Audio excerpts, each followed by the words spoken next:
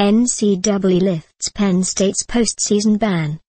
The NCAA has lifted the rest of the sanctions placed on Penn State for the Jerry Sandusky scandal, including immediately eliminating the postseason ban. Penn State was halfway through a four-year postseason ban handed down during the summer of 2012. The NCAA last year rescinded some of the scholarship sanctions against Penn State. In a news release Monday, the NCAA says that in addition to the postseason ban being lifted, Penn State will be allowed to have the full complement of football scholarships in 2015.